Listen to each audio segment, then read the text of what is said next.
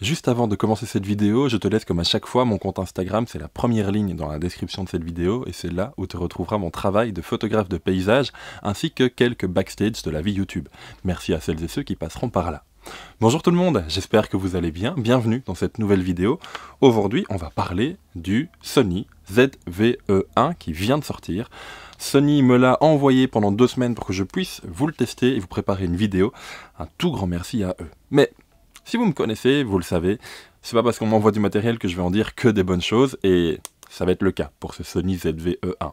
Alors si on doit résumer, c'est un appareil, je parler d'un boîtier, non pas d'appareil photo, c'est une notion très importante dans cette vidéo. C'est un appareil, donc d'un boîtier à capteur plein format, c'est le même capteur que le Sony A7S III, le capteur de 12 millions de pixels qu'on connaît, qui a déjà bien fait ses preuves. C'est l'appareil le plus haut de gamme de la gamme ZV qui comporte le ZV1F, le ZV1, le ZV-E10 et maintenant le ZV-E1. Il ne faut pas s'embrouiller dans les dénominations. Et même s'il embarque le même capteur que le Sony A7S III, il va embarquer plus ou moins la même technologie que le nouveau Sony A7R5. Bref, c'est un boîtier vraiment très très très haut de gamme même s'il n'en a pas l'air. Alors pour résumer, et j'ai pris quelques notes, ce Sony ZV-E1, donc je vous l'ai dit, hein, il embarque le capteur du Sony A7S III, les évolutions de la 7R5. Il est donc équipé d'un autofocus de toute dernière génération, allié à une montée en ISO vraiment redoutable. J'ai pu tester le Sony A7S III ainsi que le Sony FX3 qui partage le même capteur pendant vraiment très longtemps, pendant quelques mois, et ce sont deux appareils juste dingues au niveau de la qualité d'image et de la montée en ISO. On est donc ici sur un boîtier, et j'insiste vraiment sur le fait que je n'utiliserai pas le mot appareil photo. On est sur un boîtier destiné à la création de contenu sur Internet. Du vlog, des tutoriels YouTube, de la présentation de produits, et ça fonctionne vraiment bien grâce à leur technologie qui s'appelle présentation de produits, qui est disponible grâce à ce petit bouton juste ici. Si tu veux bien faire le focus, c'est toujours gratuit, voilà. C'est ce petit bouton qui est juste là. De toute façon, on fera des plans de coupe dessus. Et grâce à ce petit bouton, on va ajouter du bokeh, du flou en arrière-plan, c'est ajouté artificiellement, dans un boîtier léger, compact, à la prise en main assez moyenne. On va en parler. Mais qui pour moi ne vise pas du tout les photographes, mais bien les personnes qui souhaitent créer du contenu vidéo sur internet, quelle que soit la plateforme. Bon, pour commencer au niveau prise en main, on a ici un boîtier, on me l'a prêté avec le Sony 16-35 mm f4 PZ, donc c'est un ensemble assez compact. On a ici un boîtier qui chauffe. Alors, soyons bien clairs, dans tous mes tests, ça ne m'a jamais limité. Mais, je ne vais pas vous le cacher, ça chauffe rapidement. On retrouve sur le dessus du boîtier un switch entre le mode photo, le mode vidéo et le mode SNQ, qui est le mode accéléré ou ralenti. On retrouve bien évidemment le bouton on-off, ça peut toujours aider. Deux déclencheurs, un rouge et un noir classique, à savoir que le noir classique déclenche également le mode vidéo. On n'est pas obligé d'appuyer sur le rouge, même s'il est là pour ça en fait. On va retrouver autour du bouton on-off et autour du déclencheur, pardon, la petite molette wide télézoom pour zoomer et dézoomer avec des optiques PZ, des optiques power zoom, comme ce 1635. Le bouton C1 qui est paramétré de base, comme je vous l'ai dit, pour le bouton présentation de produit et une seule roulette à l'arrière. On n'en a pas à l'avant. On retrouve sur le côté gauche du boîtier, juste ici, une prise griffe flash, ainsi qu'un petit micro qui est juste là, et qui sincèrement fonctionne déjà très bien. Tant qu'on a parlé rapidement de micro, sur la prise grille flash, bien évidemment, tu peux mettre les micros sans fil que te propose Sony. Il y en a vraiment énormément et d'ailleurs, je te propose d'aller voir en description, je te laisse une liste de matériel que je te conseille pour le vlog. Juste avant d'aller plus loin dans cette vidéo, vous savez que je ne suis pas sponsorisé par les marques pour parler des produits. Par contre, je vous laisse à chaque fois en description des liens d'affiliation au magasin IPLN. Si tu commandes sur le magasin IPLN, Image Photo Lyon, avec le code créateur Pierre B, ton achat ne te coûtera pas plus cher, mais va contribuer à rétribuer la chaîne YouTube et donc à rétribuer mon travail, ce qui me permet de garder une certaine indépendance, comme le dirait si bien Damien Bernal vis-à-vis des marques, et ça permet surtout bah, de soutenir mon travail. Un tout grand merci à celles et ceux qui passeront en description et via mes liens pour le magasin IPLN. Bon, à l'arrière de ce boîtier maintenant, on va retrouver un bouton menu, un écran orientable et tactile. Grosse précision, si jamais tu ne l'as pas encore remarqué, il n'y a pas de viseur, tout se passe sur l'écran. Et donc à l'arrière, ça va être vraiment très simple. Hein. Une roulette, un bouton personnalisable, ce qui fait qu'on en a deux au total et seulement deux. Et puis le bouton classique, hein, euh, diaporama pour voir le contenu que tu as créé. Le bouton poubelle, bah, évidemment pour supprimer. Et puis un bouton FN qui est une sorte de bouton personnalisable également, mais pas comme le C1 et le C2. Au niveau connectique, on va retrouver en plein milieu des connectiques le port carte SD, et j'ai bien dit le port carte SD, on n'en a pas deux. En bas, on va retrouver une prise micro HDMI ainsi qu'une prise jack au niveau du casque. Et sur le dessus, une prise USB-C pour l'alimentation ou pour le transfert d'image. Ne faites pas ça, passez par la carte SD. Ainsi qu'une prise micro. Voilà. C'est assez simple comme boîtier avec bien évidemment la batterie Sony qui est juste en bas et qui fonctionne très bien. Au niveau autonomie, j'ai été très très très surpris. On va également en parler plus tard. Voilà au niveau de la prise en main, c'est vraiment très classique, c'est vraiment très petit, il n'y a absolument rien à droite, on va pas retrouver les ports de carte SD à droite, ça se passe bien à gauche. C'est très léger, c'est très compact, c'est très agréable à prendre en main, mais une fois de plus, et de nouveau on en parlera en fin de vidéo, ça n'est pas un appareil photo. Bon, au niveau des choses qui me manquent, ben moi je déplore l'absence de joystick à l'arrière pour changer le carré de mise au point.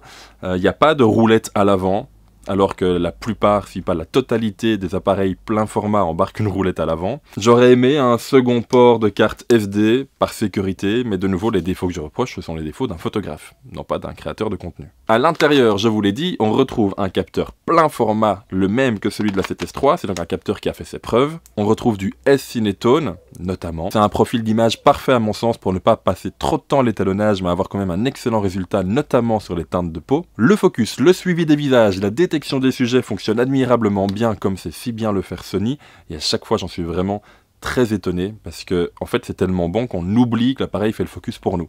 Ça paraît logique qu'il le fasse, on n'y pense même plus, tellement c'est précis, tellement c'est rapide, tellement c'est génial. Niveau résolution, on va trouver à l'intérieur de la 4K UHD et bien évidemment de la Full HD.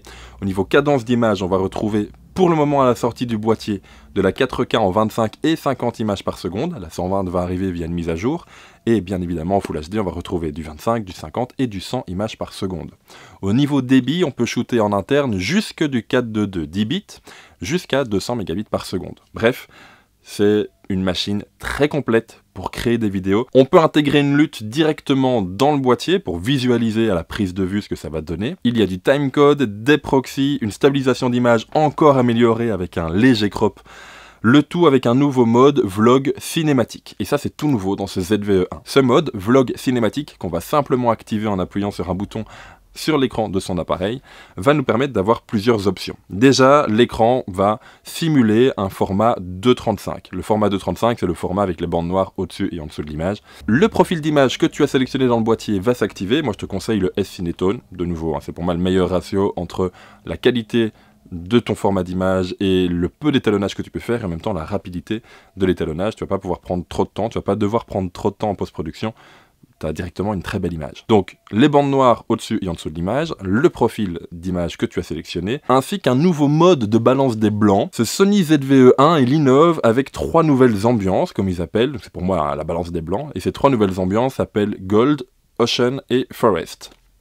Bref, un mode rouge, un mode neutre et un mode bleu, pour faire très classiquement. Ils sont quand même bien, bien, bien pensé, ce qui permet d'avoir déjà au sein de ton boîtier la possibilité, notamment avec le S-Cinetone, qui est un format d'image qui fonctionne quand même pas mal sans devoir trop l'étalonner, hein, je le répète une dernière fois. Et ça permet directement au sein de ton boîtier d'avoir trois modes d'image différents.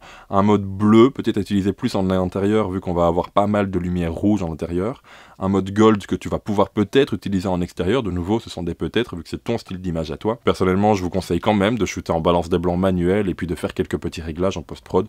C'est assez rapide et ça permet de ne pas avoir de problème si on se trompe de mode lorsqu'on va tourner. Alors petit test en extérieur pour tester le micro, donc si c'est bien le micro intégré à l'appareil.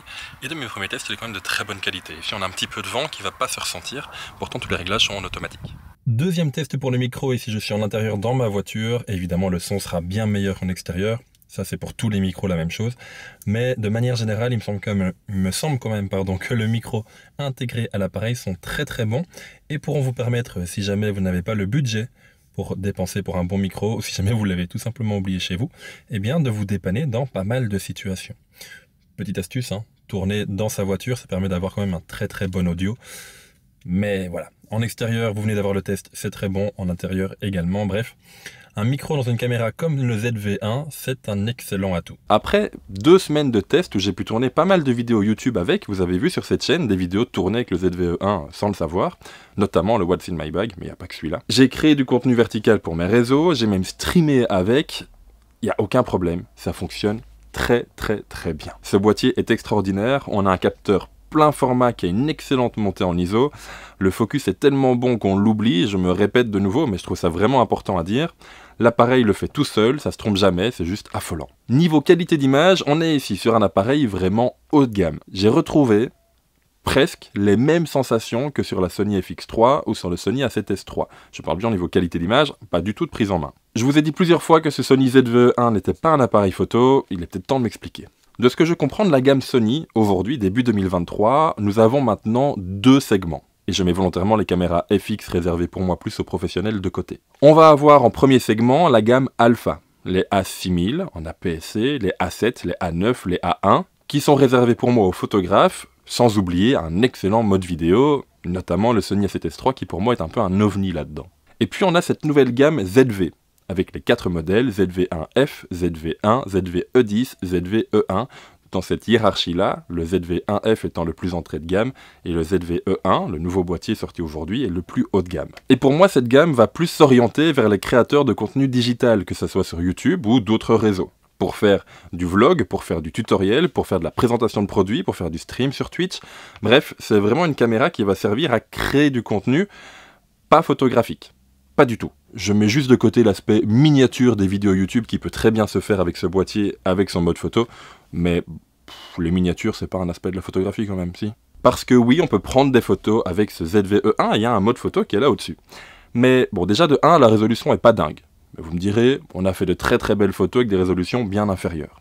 Mais c'est juste qu'au niveau prise en main, il n'est pas du tout pensé pour. Je vous rappelle qu'il n'y a pas de viseur, il n'y a pas de molette à l'avant, il n'y a même pas de roue PSAM avec différents modes de prise de vue.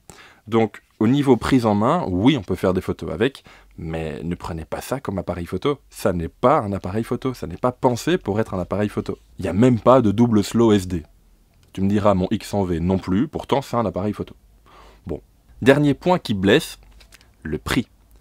Le Sony ZV-E1 en boîtier nu va coûter 2700 euros.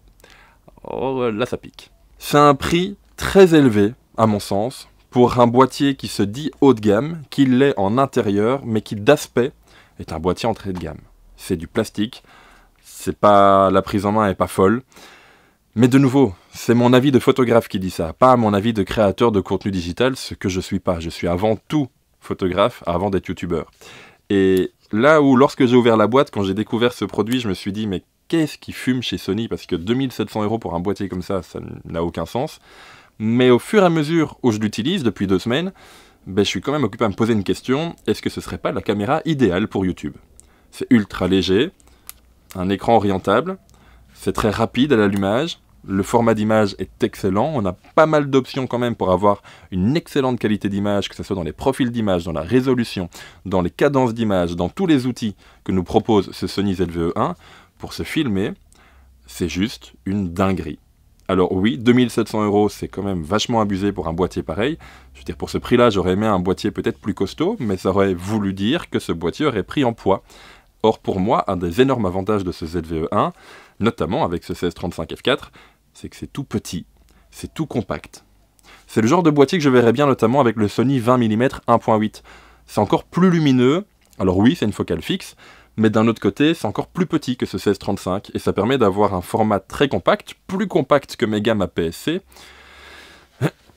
ouais, mais d'un autre côté, ça permet d'avoir un boîtier qui est juste phénoménal. Donc oui, 2700 euros, je le répète une dernière fois, c'est complètement abusé pour un boîtier pareil, mais je pense qu'on se rapproche tout doucement de la caméra parfaite pour se filmer en mode réseaux sociaux. Je ne parle pas de court métrage ou quoi que ce soit avec ça. Bon, deuxième souci bien moindre, euh, c'est son appellation, ZV-E1, en sachant que l'entrée de gamme, ce sont des ZV1. Je pense qu'on va commencer tout doucement à s'en mêler un peu les pinceaux. Euh, chez Sony, dans la gamme ZV, on a donc le ZV-E1 qui est le plus haut, suivi du ZV-E10 qui est le même, mais avec un capteur APS-C, suivi d'un ZV1 qui a un capteur de 1 pouce à objectif zoom, suivi du ZV1F qui a le même capteur que le ZV1 mais avec un objectif fixe. la gamme est très complète, c'est chouette, mais au niveau appellation, ça va être un peu la galère. Bon, personnellement, je suis très curieux de savoir ce que vous en pensez dans les commentaires. Pour moi, c'est un produit un peu ovni. Je ne sais pas s'il va trouver sa niche, mais je pense que sa niche existe vraiment. Je pense à toutes les personnes qui se filment sur YouTube, qui ne sont pas du tout photographes, qui font du vlog lifestyle, qui présentent des produits, qui documentent leur vie tout simplement.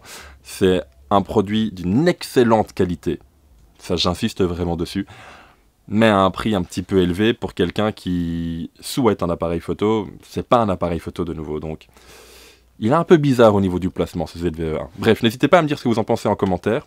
Je vous invite encore une dernière fois, si jamais vous souhaitez le commander, de passer par les liens en description. Ce sont des liens affiliés au magasin IPLN. Un tout grand merci à celles et ceux qui passeront par là.